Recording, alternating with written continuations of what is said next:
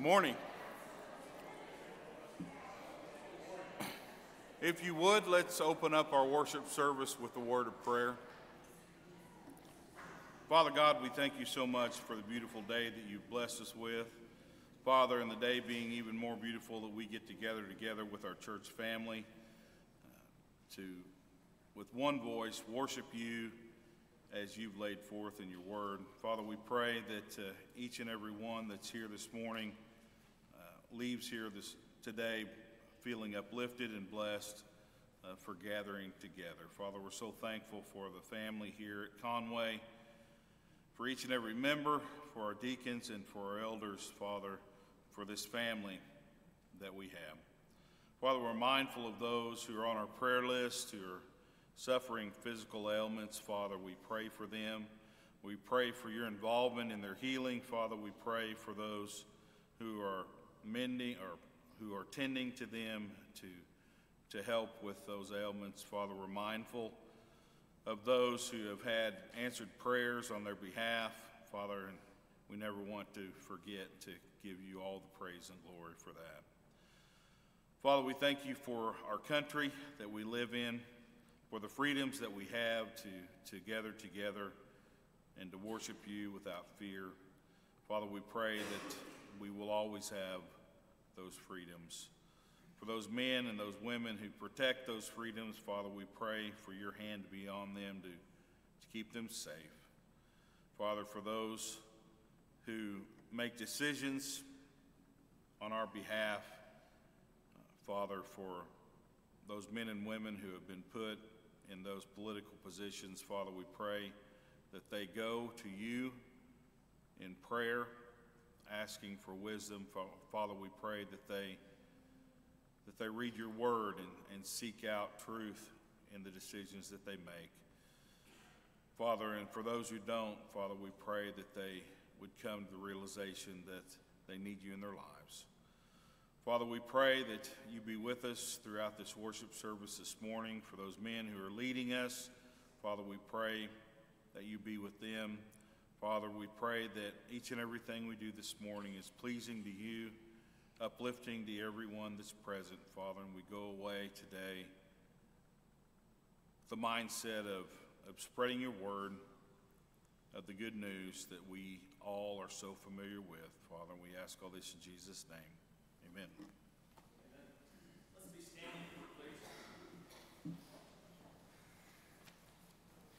We have a wonderful opportunity this morning in this act of worship that each of you get to use your voice this morning uh, as opposed to other parts of our worship. We've got 11 songs on the agenda this morning. Don't let that scare you. But use every bit of your voice this morning, young, old, high or low, good or bad and uh, use this opportunity you've been granted to, to praise our God this morning.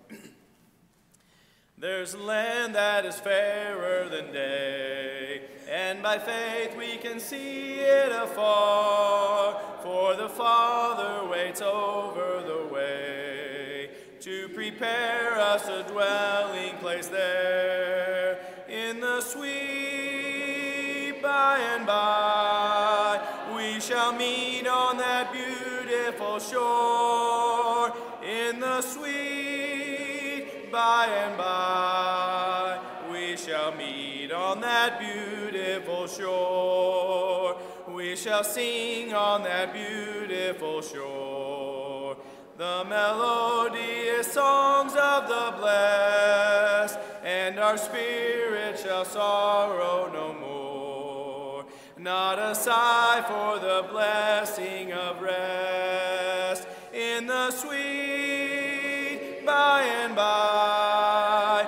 We shall meet on that beautiful shore in the sweet by and by. We shall meet on that beautiful shore to our bountiful Father above.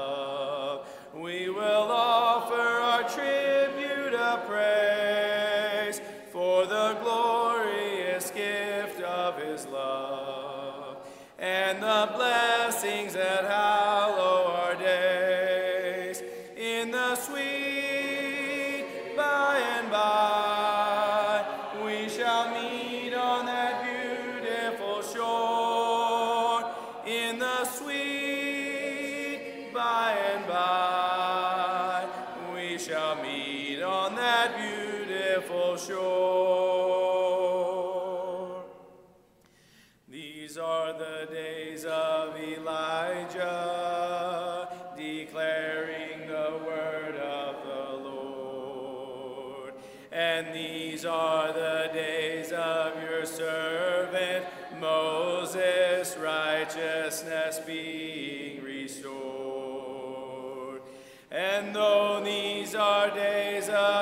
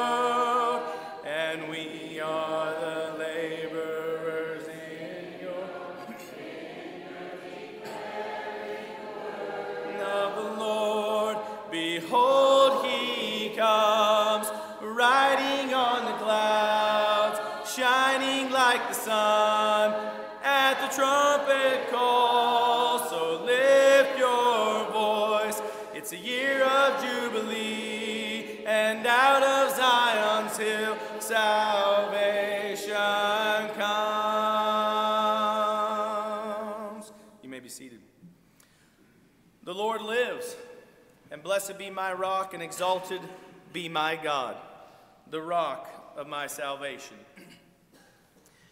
I still have joy, I still have joy after all the things we've been through. I still have joy, I still have joy, I still have joy after all the things we've been through. I still have joy, I still have I still have peace after all the things we've been through. I still have peace, I still have faith, I still have faith after all the things we've been through. I still have faith, I still have hope, I still have hope after all the things we've been through. I still have hope, I still have love, I still have love after all the things we've been through. I still have love, I still have joy, I still have joy after all the things we've been through. After all the things we've been through, after all the things we've been through, I still have joy. As the deer thirsts for the water,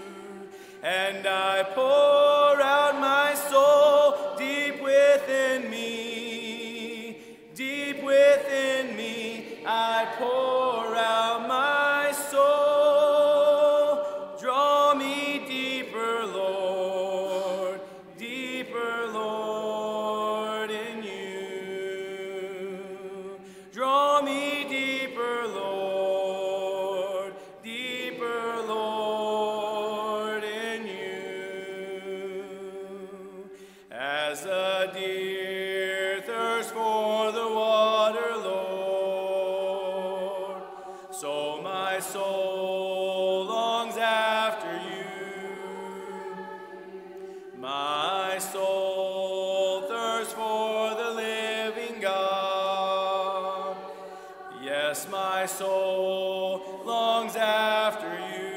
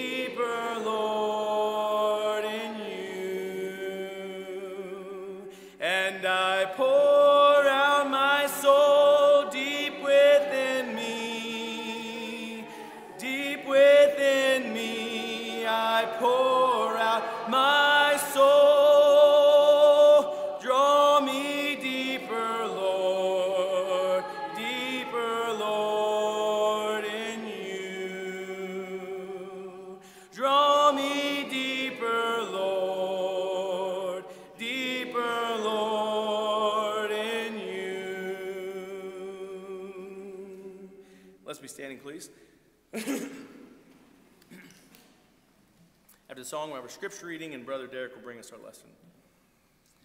As the mountains surround Jerusalem, so the Lord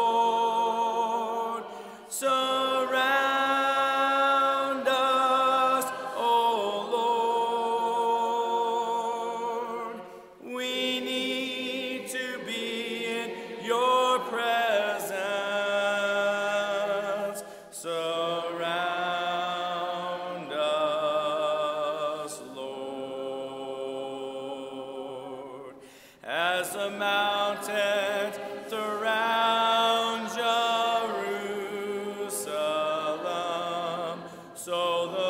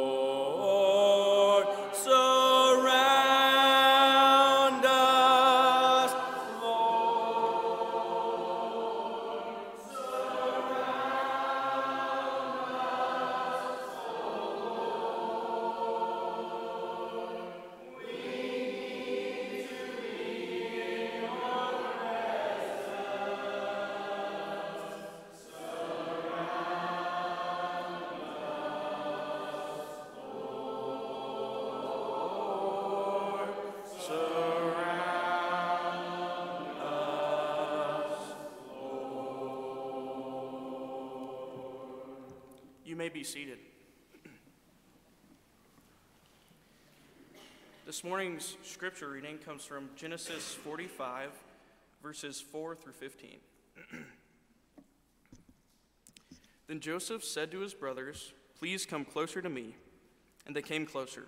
And he said, I am your brother Joseph, whom you sold into Egypt. Now do not be grieved or angry with yourselves because you sold me here, for God sent me before you to preserve life. For the famine has been in the land these two years, and there are still five years in which there will be neither plowing nor har- harvesting. God sent me before you to preserve for you a remnant in the earth, and to keep you alive by a great deliverance. Now, therefore, it is not you who sent me here, but God. And he has made me a father to Pharaoh, and Lord of all his household, and ruler over all the land of Egypt. Hurry and go up to my father and say to him, Thus says your son Joseph, God has made me Lord of all Egypt. Come down to me, do not delay. You shall live in the land of Goshen, and you shall be near me. You and your children, and your children's children, and your flocks, and your herds, and all that you have. There I will also provide for you, and for there are still five years of famine to come, and you and your household, and all that you have, would be impoverished. Behold, your eyes see, and the eyes of your brother Benjamin see, that it is my mouth which is speaking to you. Now you must tell my father of all my splendor in Egypt, and all that you have seen, and you must hurry and bring my father down here. Then he fell on his brother Benjamin's neck, and he wept. And Benjamin wept on his neck. He kissed all his brothers, and wept on them. And afterward his brothers talked with him. The life of Joseph, a roller coaster ride, starts high. He's the most loved son by his father, and it, it goes low very quickly because he's hated by his brothers. The dad sends him to a faraway place because his brothers need checked on. Unfortunately, when he arrives there, brothers are making plans as to how they can end his life. Thankfully, though, he's spared by the pleas of one of his brothers, although he's still stripped of his special robe, the one of many colors, the coat that dad has given him. He's then sold into slavery by his same brothers, and to try to cover their tracks, they dip his robe in blood and they throw him into a low place all by himself. They leave him without the necessities of life. No water is found there. Joseph has been utterly betrayed by his family because of how they envy his standing with their father. Roller coaster ride as you go throughout Joseph's life. It's a fascinating study of itself. But as we began pointing out a couple of weeks ago, like these other Old Testament characters, and, and for our visitors, we're looking at these, the major characters from the beginning this year is our theme, one by one. And it's strange that when you start digging deeper into the details of, of their lives, you think of somebody else. And it's like, wait a minute, that happened to Jesus. That happened to Jesus. And that happened to Jesus. And I believe that is a reason that God has chosen the stories of Scripture that He has because everything about the Bible from cover to cover is all about Jesus. And these characters demonstrate the qualities of Jesus or experiences that he had. And I mentioned to you two weeks ago, I, I hate making a part two of a sermon, and I, I, try not to do that. I hope this is the only one I do this with in the whole series. No guarantees, but I'm, I'm going to try to keep it where there are no part twos. But this is one of those, as I tried to condense it like I do all my lessons, there, there's just no way, and still to do it justice. So, what we're going to do from a couple of weeks ago is pick up where we left off. Joseph has been sold into slavery instead of being executed by his brothers like he would really like to do with them. And then God watches over him in the hands of the Midianite, or if you uh, prefer, Ishmaelite traders, and they carry, to him a, uh, carry him to a land that he doesn't really know much about this place. Uh, we'll spend most of our time in chapter 39 of Genesis before we cross over. And we'll begin in verses 1 and 2.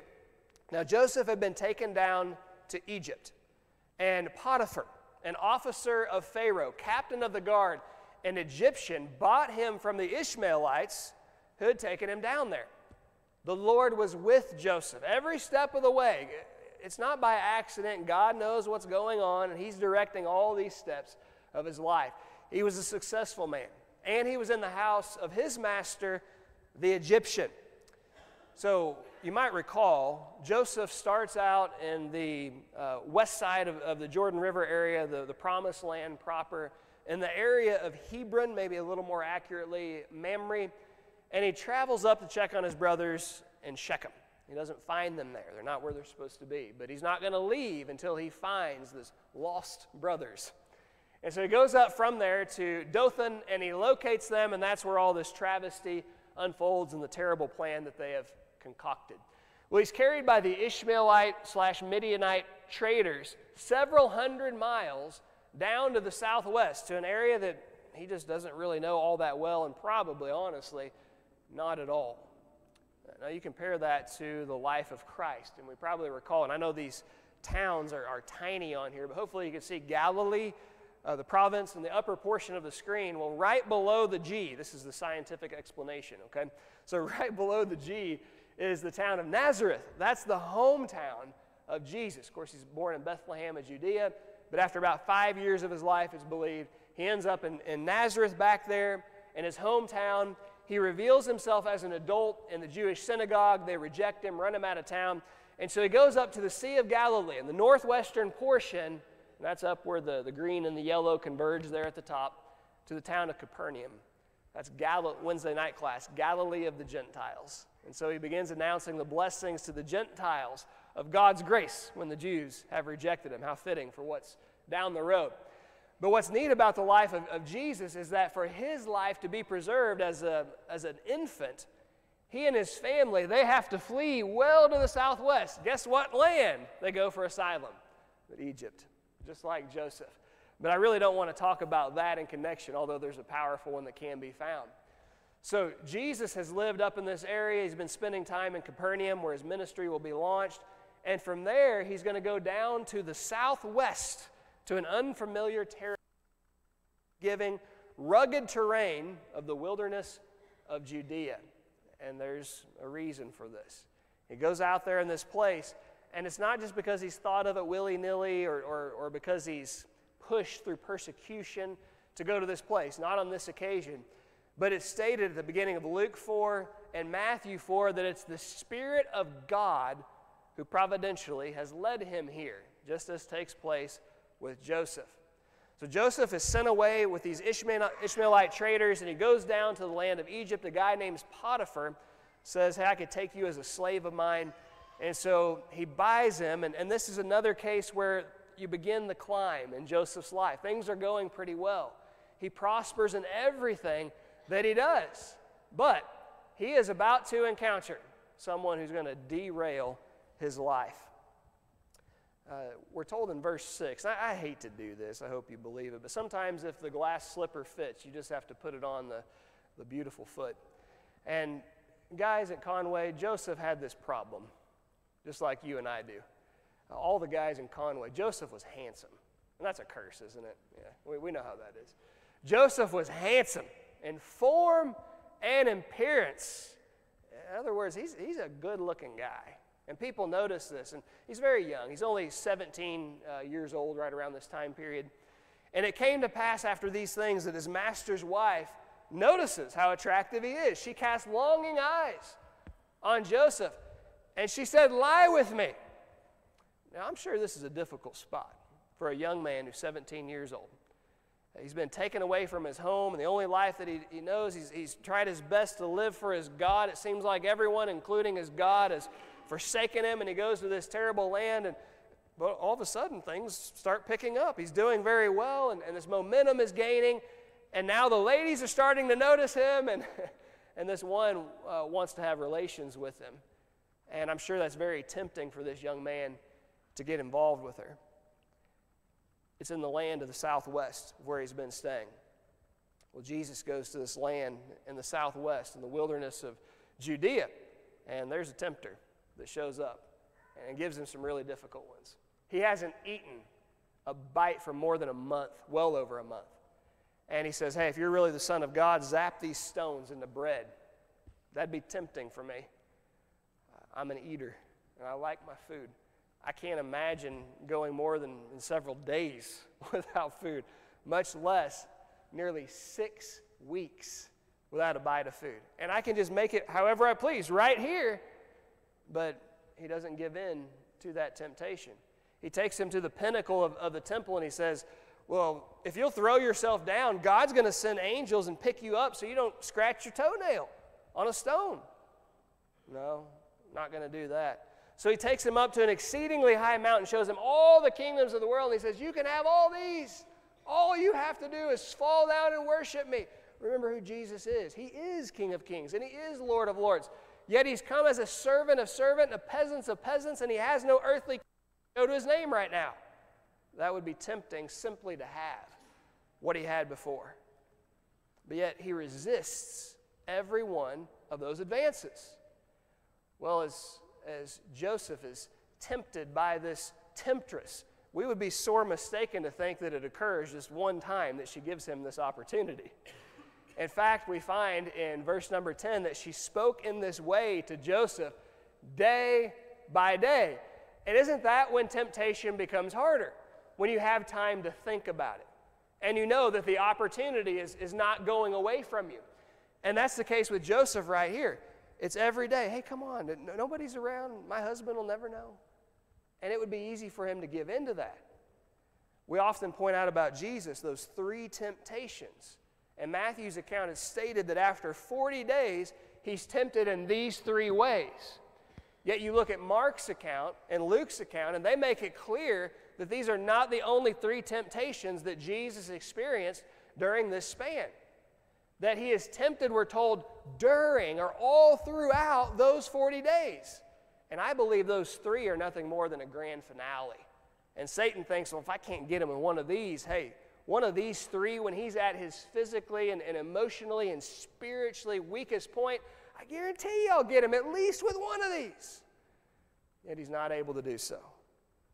The temptress invites Joseph day after day. Come on, no one's going to know about this. And, and he can think about this, and yet he refuses every time as is made clear by verse 8. Then the fullness of verse 10 So it was as she spoke to Joseph day by day that he did not heed her to lie with her or even to be with her. He's a smart kid at 17 years old. And one of the best things we can do with temptation is when we're presented, it's more than just saying no, it's getting out of the situation. It's not putting yourself in a bad situation where something could happen that doesn't have to happen. He just stays disconnected from it as much as he can. He refuses every day. For 40 days, Jesus refuses every advance that's made by the devil. And here's the key to success. In Joseph's case, he says, I'm going to focus on my God instead of fo- focusing on all these things that could happen in the flesh. And he puts this thought before the lady who's in him to do this evil. He says, How then can I do this great wickedness and sin against God? You see, here's the problem my God stands between you and me. We cannot, we will not have a relationship in that way together because my God forbids me to do such a thing. Now, as Jesus is down in the southwest, in the unfamiliar territory from his home and and he's experiencing these temptations day after day for 40 days, how does he overcome these temptations? Every lead in is, it is written. No, Satan, I'm not going to do that because it is written. No, it is written. No, it is written. And we often emphasize, and we're correct, that Jesus overcomes the temptations by relying on the Word of God. That's very true. But we sometimes overlook a real focus that Jesus has every time he gives his answer, also. In the case of turn these stones into bread, he says, No, I'm not going to do that because it is written, Man shall not live by bread alone, but by every word that proceeds out of the mouth of whom? God. You see, I'm, I'm not going to do it because it's God who has told me. And I think that's the significance in his overcoming temptation takes him up on the pinnacle of the temple. Throw yourself down. Oh, you like scripture? Let me quote you one. Here's from the Psalms 46. And, and he says that God will send his angels and, and they'll catch you, and, and you won't even hit your foot on a rock. And then he said, I'm not going to do that because it is written, You shall not tempt the Lord your God. Because there's somebody who stands between you and me in a relationship that we could have together. So then he goes up on the super tall mountain, shows him all the kingdoms of the world. You can have all this. All you have to do is fall down and, and worship me. At that point, he says, I'm done with you, man. Away with you, Satan. For it is written, You shall worship the Lord your God, and him only you shall serve. Yes, it's true that he remembers and he uses Scripture to overcome temptation, but the reason Scripture is so important to him is because of its source. It's come from God and the relationship that he has with his God. Joseph says to this woman, Look, I'm not going to have this relationship with you because I have read, I have been told I'm not supposed to do that. And the reason that's important is because my God told me such a thing. It would ruin my relationship with Him. So Joseph doesn't give in. But one day, Joseph finds himself in a, a really tough situation. The problem is he has to deal with this woman on a regular basis. You ever, you ever had a situation with somebody, and it's in your family, it's at school, or it's at work, and you hate having to deal with it, but you can't get away from it. you know, it's, it's intertwined at the moment into your life. So, what are you supposed to do about it? Well, this guy has this intertwined situation that's so connected to his work, and he has no choice in the matter until this fateful day, 11 and 12. But it happened about this time when Joseph went to the house to do his work, and none of the men of the house was inside, that she caught him by his garment, saying, Lie with me. But he left his garment in her hand, and he fled, and he ran outside. He did what he was supposed to do. 1 Corinthians 16, 18 tells us that we are to flee, run away from fornication. And that's what he does right here. He gets away from it. And I know the, the objections that come up. Well, uh, you know, he, he shouldn't have been in there alone by himself. Well, I agree. Ideally, that would be the case. Have you ever thought about, though, he's a slave and he doesn't get to make all the rules. And his master, when he comes home, he expects his work to be done in the house. And he may need to use every piece of this window so he doesn't get beaten whenever he comes home. Uh, you know, it may be that he doesn't have a whole lot of choice. It may be that he thinks these other guys are inside. Perhaps they usually are. Maybe he's mistaken about it. But one thing's for sure he handles the situation the right way as, as far as I got to get out of here. I don't even want to put myself in the wrong spot. I don't want to make it look like anything could have happened.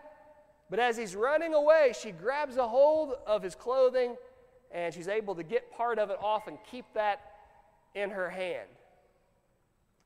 But Joseph, in resisting temptation, runs away from it. It's kind of interesting when you compare that with the temptation of Jesus, because you don't find Jesus running away from temptation or from the tempter. In fact, he very firmly stands his ground.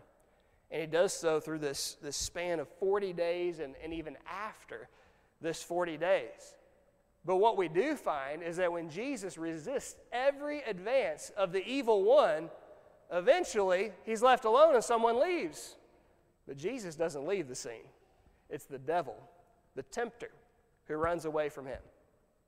Credit to Jesus and credit to the one who foreshadows him, Joseph, that they're tempted continually, day by day, by a tempter, or respectively in Joseph's case, by a temptress and they refuse to give in to that sin. They're completely innocent in every way. And it's a tragedy, though, that Joseph is still accused of wrongdoing, even though he's done nothing incorrect. Down in 13 through 19, when she saw that he had left his garment in her hand and fled outside, she called, she yelled to the men of the house.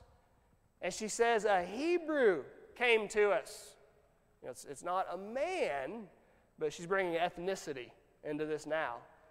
The Egyptians hated shepherds. They looked down on them because of their nationality, kind of like the Jews would the Gentiles later. And, and here, this Hebrew, this, this shepherd boy, was brought into us to mock me.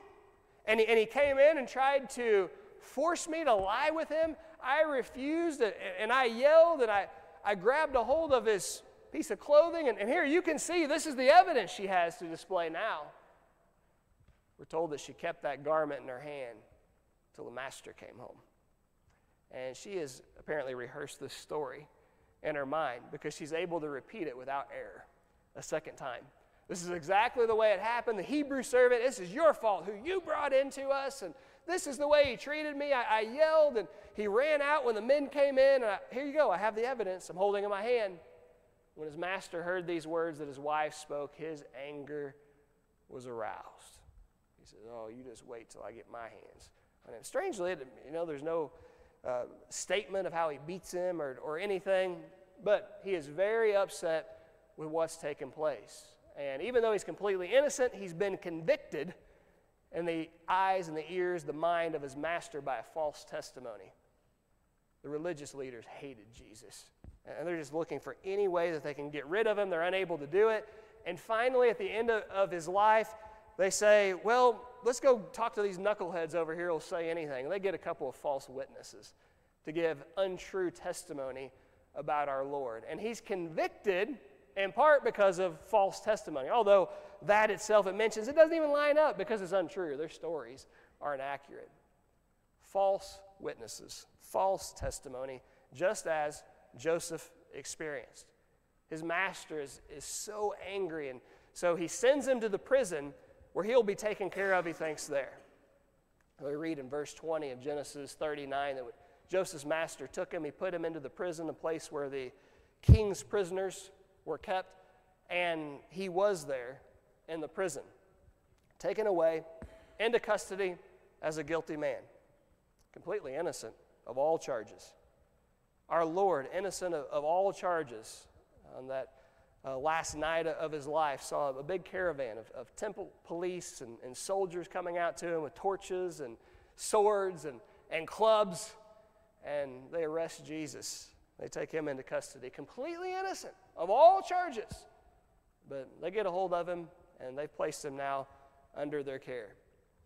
Joseph is innocent, but he's been condemned in the court of public opinion. Yet, what people think about Joseph really doesn't matter because God says he is perfectly innocent.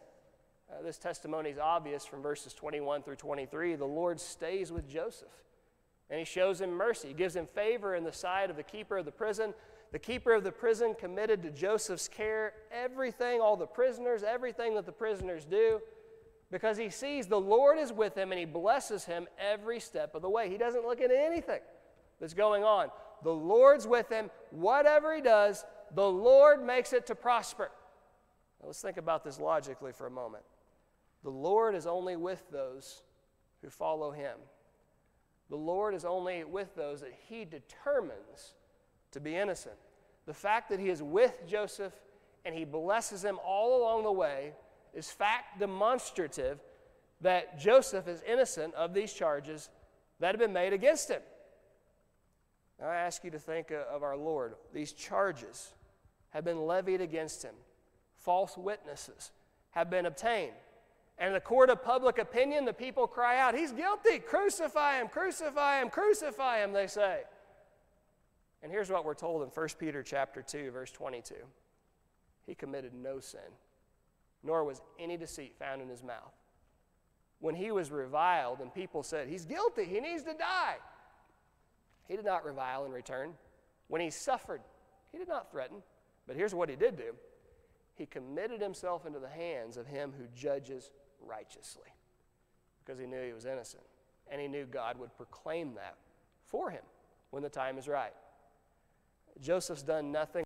Everybody thinks he's guilty of this crime, but it doesn't really matter what everybody thinks because God knows that he truly is innocent of the charges that have been brought against him. And when the time is right, God demonstrates the innocence of Joseph. He lifts him up to a position of prominence in arguably the most powerful kingdom of the world in existence at that time. We're going to skip now to chapter 41 in these last few passages, verses 41 and 42. Pharaoh said to Joseph, I have set you, and this is after he interprets his dreams and helps save the land, and I know we're skipping ahead a little bit. But Pharaoh said to Joseph, I have set you over all the land of Egypt. And Pharaoh took off his signet ring and he put it on Joseph's hand. You ever wonder what a, a signet ring is? Think about the base of the word. Signet contains essentially the same base as the word signature. That's what it was for a ruler. A signet ring was more or less the, the signature of the king. And the king would use that instead of putting his John Hancock way before it existed. uh, he would put his signature through the impression that was found on that ring. And that meant the king signs off on it. That's what the king wants done. He's given his decree. Pharaoh takes off his signet ring and he puts it on the hand of, of what was this lowly peasant, a slave, and a prisoner who should have already died. And he says, I am putting you in charge of the land of Egypt. And so you have my authority, whatever you say, that's the way it is. That's how things are going to go. He clothes them in garments of fine linen, uh, what a, a king would wear. And he puts a gold chain, wealthy, around his neck. Pharaoh also said to Joseph in verse 44 I am Pharaoh, and without your consent, a man's not going to lift up his foot or his hand in all the land of Egypt. I'm putting you in charge. Those are intriguing details. He gives him authority over everything in this powerful kingdom in the world. He clothes them in garments of fine linen.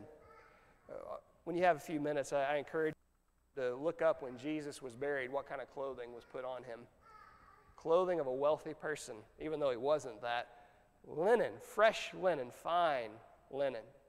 The book of Revelation, chapter 1, twice it's mentioned gold in connection to the appearance of Jesus, one of which is on him and the golden sash, and the others that are around him. And the golden lampstands to be exalted when you are condemned by people because God judged you innocent to be put in charge of the most powerful kingdom there is. I would also encourage you to look back at the second chapter of Daniel. And when he's ministering as a, a steward to King Nebuchadnezzar in the Babylonian Empire, the king has a, a dream of these four elements of a statue, and then this huge stone that's cut out of a mountain, and it comes crashing into, knocks down the statue, and then it begins growing. You know, stones aren't usually living, but apparently this one is. And it, as a live specimen, it grows until it fills all the earth.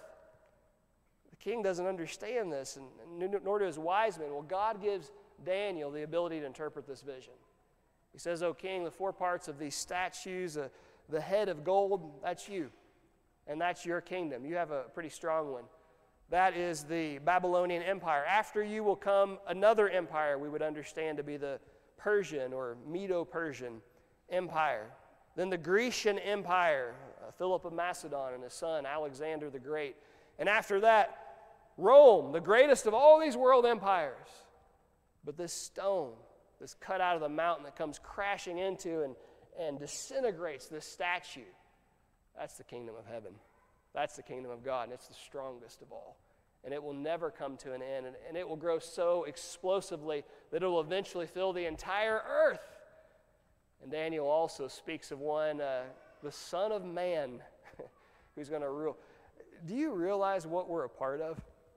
And you look back at these mighty world empires, uh, whether it's Babylon or Persia or Greece or Rome, you know, even in our country, the greatest superpower the world's ever seen, the United States of America I'm grateful for our country, and I, I think it's really neat, and it's a blessing to be a part of it. But do you understand that if you roll all of these world nations throughout history that are so powerful into one, it's nothing. Nothing compared to what God has given us to be a part. His kingdom is so powerful. It overcomes, it, it lasts forever. We will conquer together with Him all the world powers. And they'll forever look up and envy. Do you understand what we're a part of? But do you also understand who's in charge of it? Ephesians 1 22 and 23 God the Father has placed him, his Son, to be head over all things to the church, which is his body, the fullness of him who fills all in all. He is king over his kingdom, he has the authority to exercise over all, just like Joseph in the most powerful kingdom in the world at that time. Now, I probably ought to qualify. Joseph wasn't the number one in charge in this kingdom. Uh, there's someone who has given him this authority, and, and Joseph is obviously beneath him in his authority, the one who gave it to him. Verses 39 and 40 Then Pharaoh said to Joseph, Inasmuch as God has shown you all of this, there is no one as wise and discerning as you are. So you shall be over my house and all my people shall be ruled according to your word. Listen to this. Only in regard to the throne will I be greater than you. 43, he had him ride in the second chariot, which he had. Well, we kind of know how this works. Air Force One, okay, that's where you have your, your wings, and Air Force One. Well, that's what the president of our country rides in. well, there was uh, a Chariot Force One back then. Joseph doesn't get to ride in Chariot Force One, but he does get to ride in chariot force Two, and that's considerable. He's number two in charge. One of the last things Jesus tells his apostle, he says, Recognize where God has put me.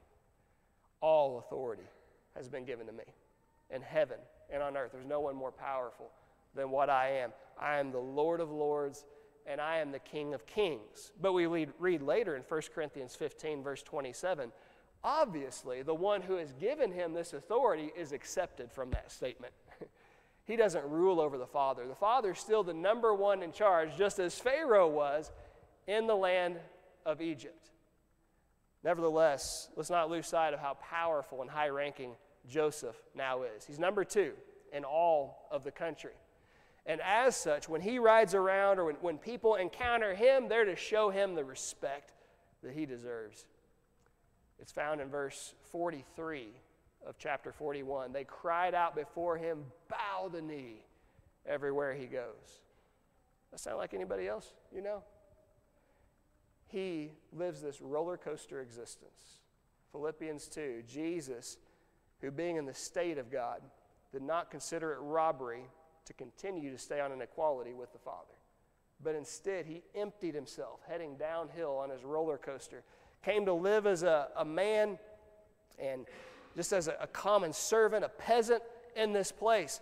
And the crowds loved him. They ate it up, and he's rising up the hill until they all turn on him and demand for him to die. and he dies the worst death possible in the prime of his life. But then we read in verse 9, therefore God also has highly exalted him and given him the name which is above every name, that at the name of Jesus every knee should bow, of those in heaven, of those on the earth, and of those under the earth, and that every tongue should confess that Jesus Christ is Lord to the glory of God the Father. We should do that while we're here, because there's coming a day that we're all going to do it, whether we've done it here or not. Romans 14, 10 and 11. We're all going to appear before God in, in judgment, and every knee shall bow to him here. And we want to make the choice to bow our lives in humble submission to him here because that helps us for there. But if we wait to do it there, it doesn't benefit us one bit because everyone's going to be made to do it in that spot.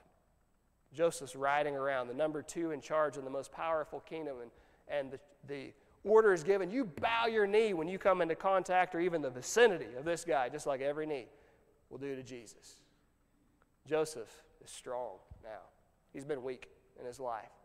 But now he has the ability. And don't you know, he thought about this so many times. I can get even with my brothers if I ever got the chance. He probably thinks he's never going to see them again. Yet, as fate would have it, God has a meetup, this reunion that takes place with his family.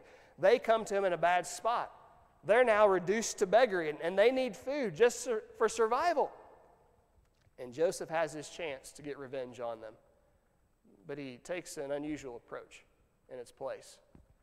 What was read for us by Hudson just a moment ago Genesis 45, 4 through 15. Joseph said to his brothers, Please come near to me. Then he said to his brothers, I am Joseph, your brother, that you sold into Egypt.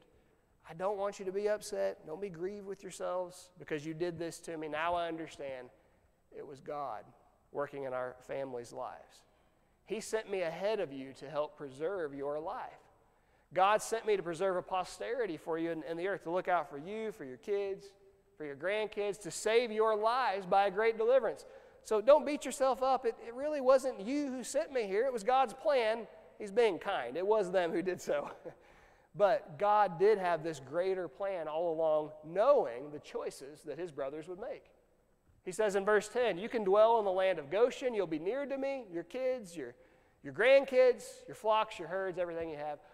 And you don't have to worry. I'll provide everything that you need, lest you, your household, and all that you have come to poverty. He says there's still five years of famine. You might not know this, but God's told it to me.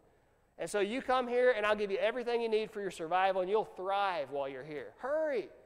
And then he fell on his brother Benjamin's neck, and, and he he wept over him. And you'd expect that because Benjamin wasn't a part of the uh, posse that, that sent him off and wanted to kill him. But then, this is strange, verse 15. Moreover, he kissed all his brothers and he wept over them. And after that, his brothers talked with him. Joseph has his chance, and what he should do is disown his brothers and destroy every one of them. But instead, he chooses to forgive them and to save them. I know I don't have it listed right up here, but as he sends them away, what you have is uh, this, this intimate setting. Understand Joseph's identity. And so he has to reveal to him, I'm Joseph, your brother, but I'm so much more than that now. now I'm the guy who can help you out. Now I'm the guy who wants to forgive you. Now I'm the guy who wants to save you. Do you understand who I am? And once they acknowledge that, and, and it seems like everything's been uh, made up here, he sends them away. And again, I know I don't have this on the screen, but in your own Bible, look at the verses that are ahead. As he sends them away, he gives them all a new change of clothes. And I, I doubt it's the, the, you know, torn and dirty clothes that they wore on their way over in a difficult time. I think it's probably the clean, perfect garments of royalty. Jesus is now in the perfect position to give every one of us what we deserve. He has all power. He should disown us and he should destroy every one of us. But instead, he says, Hey, come closer to me. I, I want to talk to you about things. He says, You probably heard of me before, and, you know, I'm a really good person. I'm actually more than that. I'm, you might have heard I'm a prophet. I'm, I'm more than that. I'm actually the God who created you. And now I want to save you. And I want to forgive you. And upon this, this intimate encounter, he's, he's trying to convince us of who he is. And once he does that, he says, Okay, I, I'm going to have to send you away, but before I do so, let's change your clothes. and man, do we need it. Because here's what our spirits are wearing Isaiah chapter 64, verse 6 All of our righteousness that you put together, God says it's filthy rags before me. It's disgusting. Uh, if you have a, a, filthy rag sitting around the house, uh, do you get up Monday morning saying, Here, I think I'll wear this to work today? Well, you don't wear that. If it's a filthy rag, what's it worth to you? You probably just throw it in the trash. That's what God's saying. Hey, all of your righteousness you have to, to offer me, all the good deeds you've done, you put it together, and by my standard, it's trash. What you're offering me, it's a, it's a filthy rag. I, I can't have anything to do with that. I'm a king. I wear nice clothes. I should disown you. I should destroy you. But instead, come over here. Let me help you out. He feels sorry for us, and he cares about us. He says, instead, let me forgive you and let me save you. You need the right clothing to put on. Do you believe in, in who I am, the identity that I've revealed to you? That I'm so much more than a good person and, and a prophet. I'm your God, your creator, and possibly your Savior? Galatians 3 26 and 27. For you are all God. You're a part of this family if you've exhibited faith in Christ to the degree, verse 27, for all of you who are baptized in Christ, literally translated, have put on Christ you might have in your version, because the real meaning of that is you become clothed with Jesus. He's given you new garments, fine linen, those of a king, that you now can wear. And it's so imperative when you buy new clothes that you treat it the right way. I hate wearing anything white because that'll be the day that I, I didn't realize it, but spaghetti's on the menu for dinner. Every time. That'll be the day I have you know, you know how it works. You have to be so careful with your good new clothes that you get because you get these stains on them and, and then it ruins it. What are you supposed to do with them? We do the same thing with the clothing that Jesus has given us in baptism. We, we don't watch as closely where we should, where we go, and, and the things that we ought to be doing. And we get these stains on them that, that we ourselves can't do anything about it. We, we don't have the right substance to get them out of it. God does. 1 John 1 9, if we confess our sins, he is faithful and just to forgive us our sins and to cleanse us from all unrighteousness. He makes clean the dirt that's on us. And here's the magical substance, verse 7 with the blood of Jesus Christ, his Son. For those stains that you personally can't do anything about, God says when you own up to your mistakes and you admit that you're helpless without me as, as my child, I kick in and I provide the substance that you don't have yourself the detergents, the blood of my child who was sacrificed for you. Isaiah 118, come now and let us reason together, says the Lord. Though your sins were as scarlet, stained red, he says, they shall be as white as snow. Though your iniquities are red like crimson, they shall be as wool. That's the power that he has. And that's the power that he reveals to us in the story of Joseph. You understand that the account of Joseph with his brothers is the account of Jesus with every one of us. And that's his place in Scripture. What Jesus, excuse me, Joseph did with his brothers is what Jesus wishes to do with you. If you'll come and let him work wonders in your clothing as we stand and sing.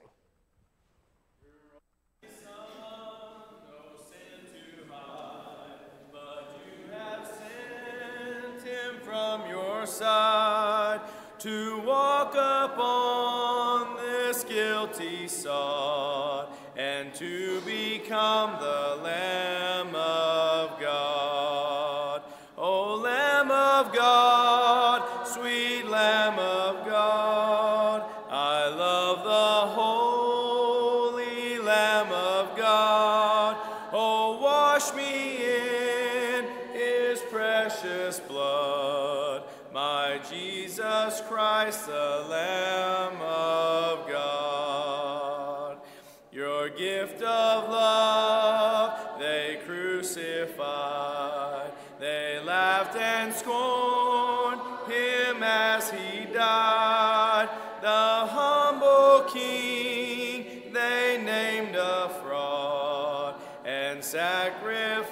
Jerusalem.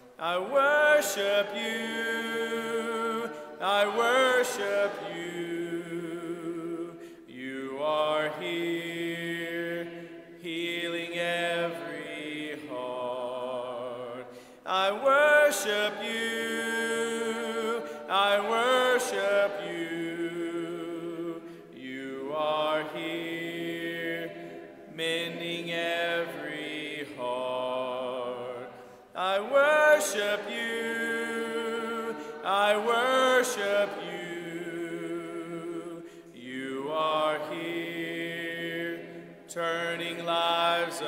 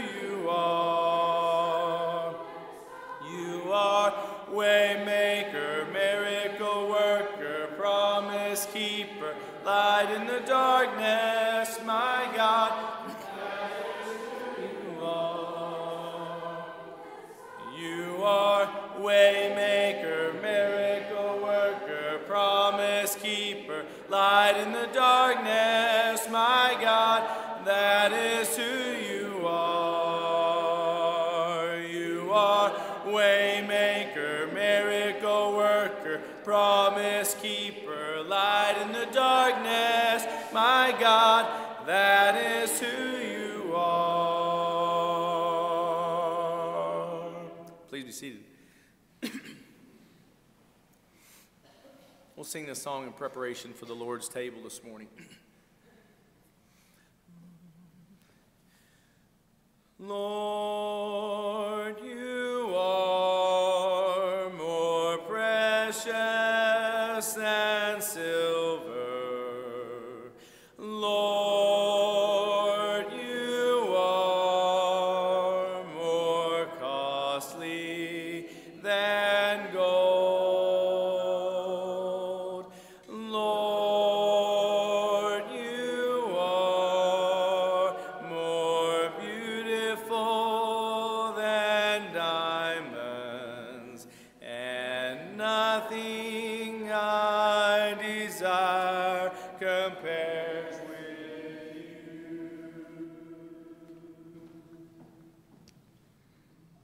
come the time of our worship to uh, remember uh, Jesus. Uh, he's given us instructions to remember him and uh, to remember him with um, unleavened bread and uh, fruit of the vine. And to, to enhance our, our remembering, I want us to read from um, 1 Corinthians 10, verse 16, the New King James Version. 1 Corinthians 10, verse 16. The cup of blessing which we bless, is it not the communion of the blood of Christ? The bread which we break, is it not the communion of the body of Christ? By partaking of these emblems, we put in common between us and Jesus the sacrifice that he made for us, the love that he showed us, um, the beating that he endured, the death that he endured. We, we, we put that in common between us uh, by partaking of this, this Lord's Supper and remembering him. With those thoughts in mind, we'll ask Tony to give thanks for the bread. Father, we come before you thanking you, Lord, for this opportunity to come together on the first day of the week to partake of this bread that represents your son's body that hung on the cross. We thank you, Lord, for sending him to give us an opportunity to become your people and to become your children. Pray, Lord, that as we partake of this, that we keep these things in mind and remember the sacrifice that he, he came to earth to give for us. And it's through his name we pray. Amen.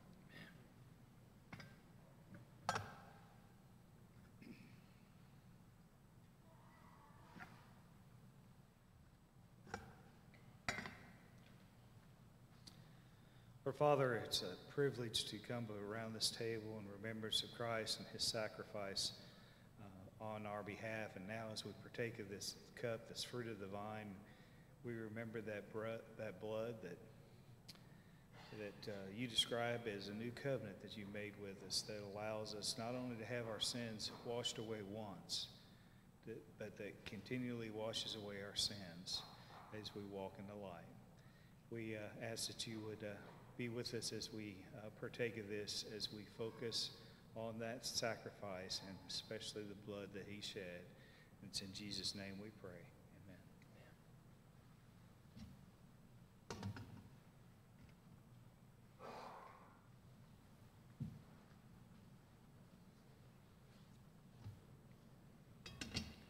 We accidentally missed, missed you. Would you raise your hand, please? At this time now, we'll also um, take up a collection uh, offering to God uh, to, um, to give him glory and praise and, and to do his work here. So uh, before we do so, we'll offer a prayer. Thank you. Our great Father in heaven, we're honored to be in your presence. We're thankful that we can uh, serve you in so many uh, capacities.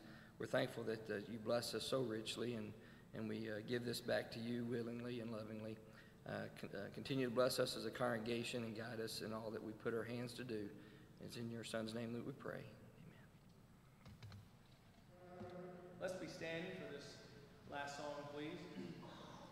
Afterwards, we'll be seated and we'll have announcements. We're singing the first, second, and last stanzas. There is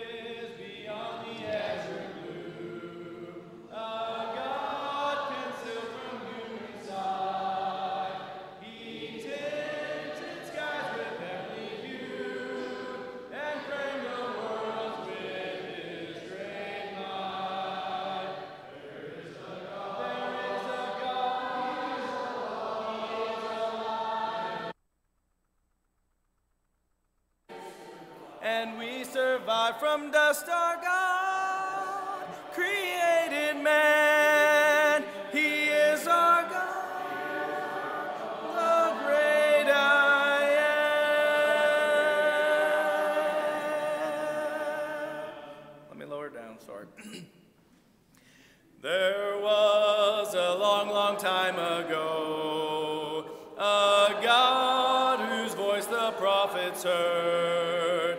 He is a God that we should know,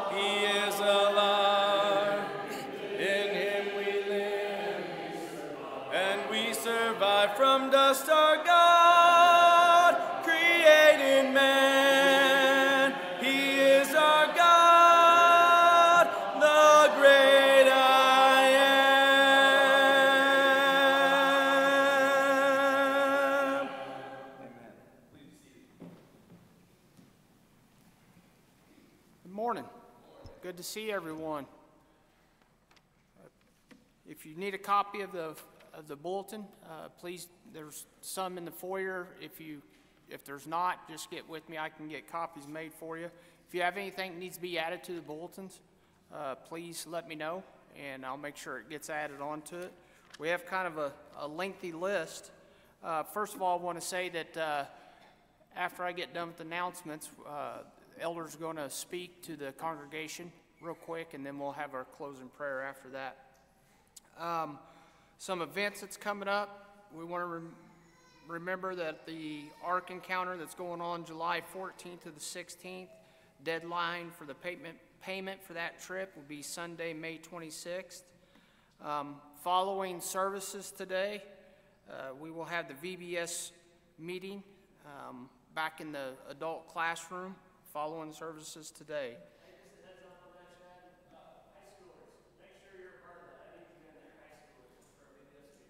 High schoolers, make sure you're in there. Um, John and Fawn just had an anniversary, so tell them happy anniversary. Uh, tonight, 5 p.m., Lincoln, Missouri.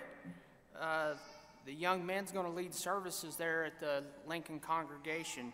If you're able, I'd say be there and and uh, support the young men. They're doing a great job, as all of our youth is, and all the folks that are are taking around to do these things. Uh, we really appreciate and and uh, support uh, our our youth.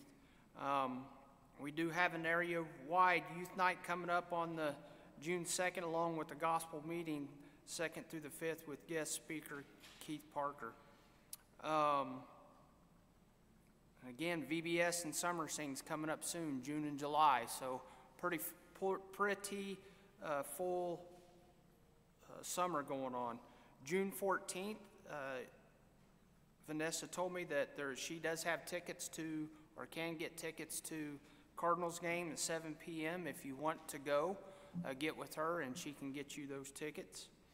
And then uh, the RSVP that was handed out by Vanessa and Emerson, um, she needs those back. Can need to be turned in today, but you can turn them in Wednesday to her too. So if you haven't gotten that gotten that RSVP back, should be per individual. So if you haven't gotten one of those yet, get with Vanessa or Emerson. They'll make sure you get one and get it filled out no later than Wednesday. All right. Um, few things that are going on with the folks that we've mentioned before in our announcement. Uh, Autumn's dad was in an accident a couple weeks ago. He's recovering at home, doing well. Um, her cousin, Martin Clam, uh, he is a member at the uh, church in Tennessee. Uh, he's been diagnosed with cancer, so we're asking for prayers for him. Joey's dad, his scan went well, and it seems that though his heart is repairing itself, so that's good news there, and, and, he's, I'm sure that's a weight off his shoulders. And uh, this Friday, we will have Autumn's um, doctor's appointment to find out what the way ahead is for, for the aneurysm she's got going on, and hopefully we hear some good news and, and have a plan of attack here soon. Amanda, she did have a diagnosis on what is going on with her and everything. Um, I don't know exactly what that diagnosis is called or what it is, but it, it has been assured to her that she can rectify the situation with physical therapy. So we want to continue to keep her and that family in our prayers as she has a lot of things going on raising kids, work, going to physical therapy. That's a lot going on. So, but it's, that's good news. Uh, it's good to see Gunner is at church. He had surgery and had some teeth removed, and it's good to see. I think he's doing pretty well. So I seen him back there roughing up Williams, so he, he must be doing all right. Um, Joey did want me to announce again, and we will continue to announce. He needs teachers for next quarter, so if you're willing and able, please uh, see Joey. Uh, Scott Bailey's cousin, Doug Maxey, has been on the prayer list. He did pass away, so uh, we need to be thinking about that family and, and how that affects everything all the way across the board with, our with the families. Um, and they're mourning at this time. And then his sister, Sharon Morton, she's recovering from a spinal tap. She is in the hospital. Uh, they're testing her for MS. They haven't gotten any results yet, but uh, we need to continue to pray for her. She she is at home. Okay, my fault. She is at home. So, and then I believe it's his nephew Tom James, son-in-law. I'm sorry, son-in-law uh, Thomas James. Uh, he's had a little bit of a bout with pneumonia, and his oxygen level has gotten real low. Um, they're worried about that, and I believe they're moving him into ICU for a couple of days. So, uh, Thomas James, and that is the brother or son-in-law to Scott Bailey. Um, Rick is going to be traveling, uh, as he always is, so let's keep him in our prayers. And then Justin graduated last week. All right, big accomplishment, and I think he's even still continue going to do further his education even more. So we may have to go to another graduation. I don't know, but but uh, it's congratulate him. That's a big step in, in anybody's life. But uh, Justin's not a young chicken like some of us anymore, and and uh, he continues. He's very dedicated. I have to say, he's probably one of the most dedicated men I I know. He's pushed pushed on and, and is doing an outstanding job, and we want to know that we love him and support him in everything that he does, and want to congratulate him once again. Uh, again, if you need anything added to the bulletin, please make sure you get with me, and we'll get it on there. And again, you can call me anytime, and I'll get you added on there.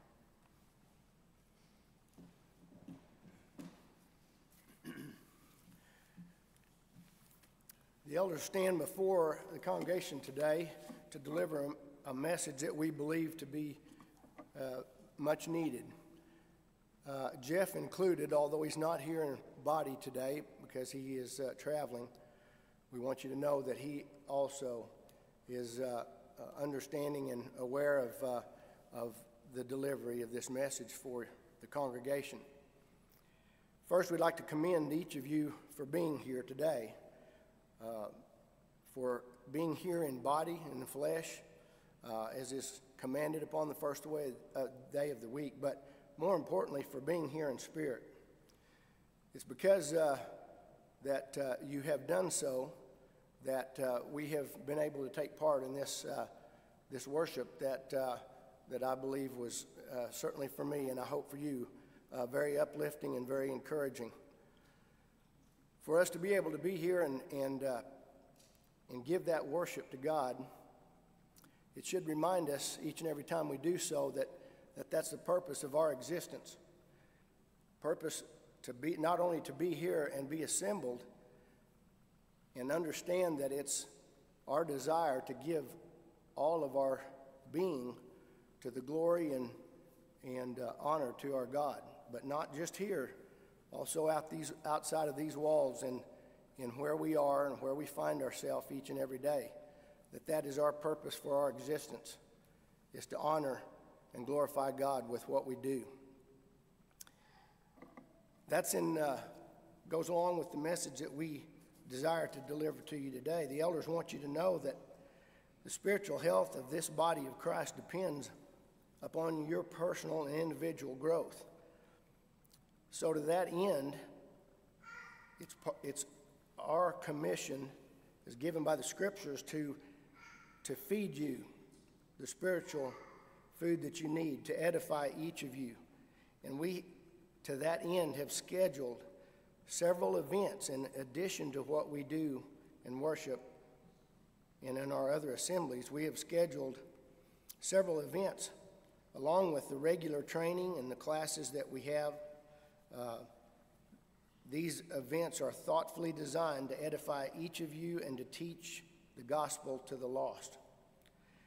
These events include, but are not limited to, just some of the, those things that I see that we have planned for in the near future include the singing emphasis that we do on the third Wednesday of each month, the Kids for Christ training for our boys and our girls that happens each first Wednesday of the month.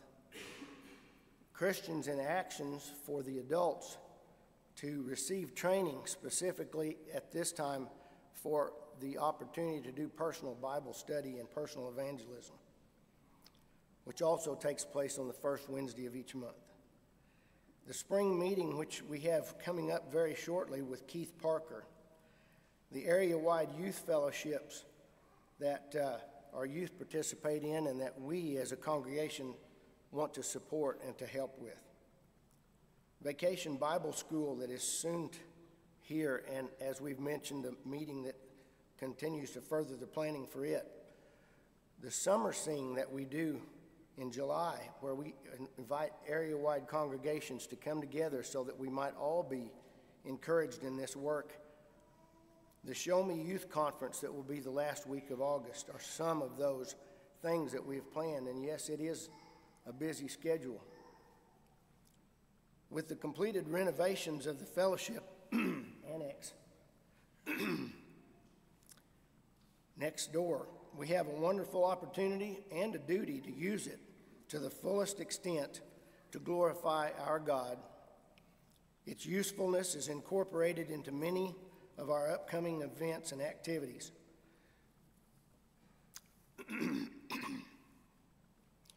because God will not accept anything less than our full commitment to Him, the elders ask that you follow us by being present and actively supporting every work we have planned for the church here.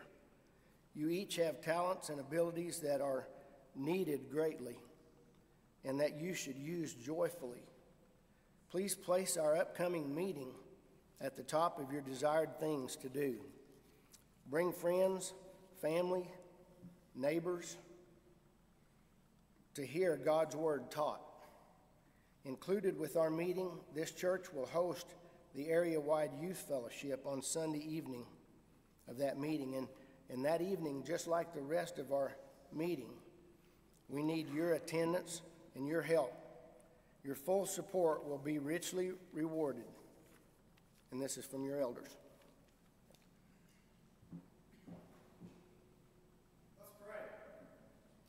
Most gracious Heavenly Father, we thank you for the wonderful opportunity to congregate in this building this morning and to, to hear a wonderful message from Brother Derek.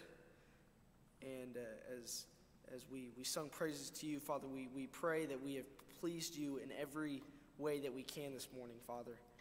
Father, we want to pray for the service at Lincoln tonight and that it will be encouraging to the congregation at Lincoln and that we can uplift them.